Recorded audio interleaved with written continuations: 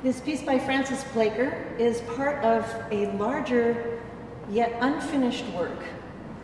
And it is called Foster Sisters Farewell, about two sisters who have to part. One of them is staying in Norway, the other is leaving for Iceland. And it's from the story Fra veien til Island skrives på which means the way to Iceland is written on the water.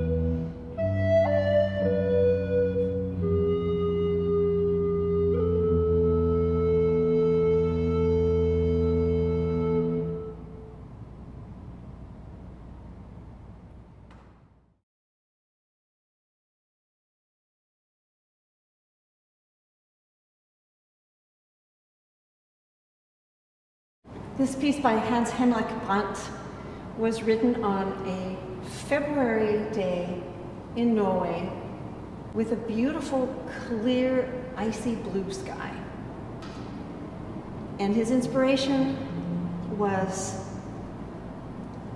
this is, this is the mood one finds oneself in when one can just stare at a perfectly blue sky for a very long time.